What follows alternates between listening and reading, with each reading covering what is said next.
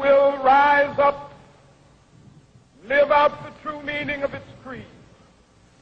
We hold these truths to be self-evident that all men, sons of former slaves and the sons of former slave owners, will they be able to sit down together at the table. America is to be a great nation.